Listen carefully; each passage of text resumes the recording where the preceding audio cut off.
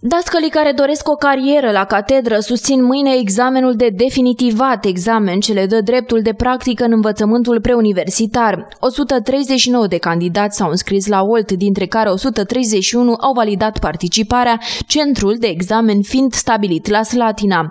Proba scrisă a examenului național de definitivare în învățământ se desfășoară mâine la Colegiul Tehnic Metalurgic din Slatina.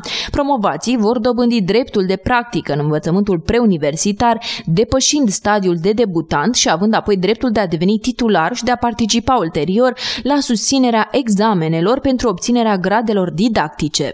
La definitivat avem 131 candidați validați și să sperăm că se prezinte la examenul care va avea loc mâine, între orele 10-14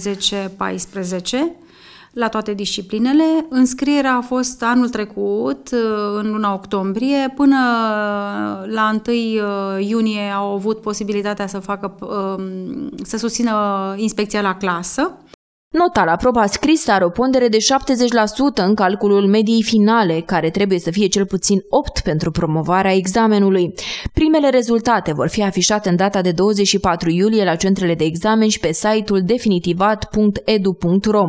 Contestațiile se depun la centrele de examen conform calendarului aprobat în zilele de 24 după afișarea rezultatelor și 25 iulie până la ora 14.